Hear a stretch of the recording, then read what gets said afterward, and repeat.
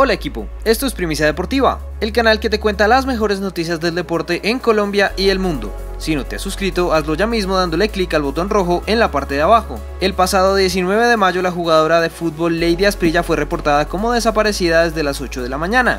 Asprilla se dirigía al corregimiento de Palma Seca en su moto. Tras varios días de búsqueda, hoy se encontró el cuerpo sin vida de la jugadora de Orso Marzo en la vía El Cerrito Rosso a la altura del peaje. Lady había salido el sábado desde su casa en el municipio de El Cerrito a recoger a una amiga antes de dirigirse al entrenamiento matutino de su club en Palma Seca. La atacante partió en su moto de marca AKT y nunca recogió a su compañera quien alertó a la familia de su desaparición. Algunas hipótesis apuntan a que un carro la arrolló y en lugar de socorrerla, la abandonó y siguió su camino, aunque las autoridades no han esclarecido los hechos del caso, por lo que no se descartan otras hipótesis.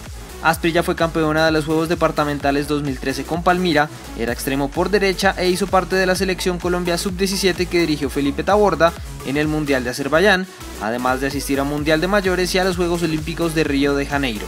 Esto fue todo por ahora, si quieres seguir enterado de todo lo que pasa en el mundo del deporte, dale like a este video y suscríbete a Primicia Deportiva.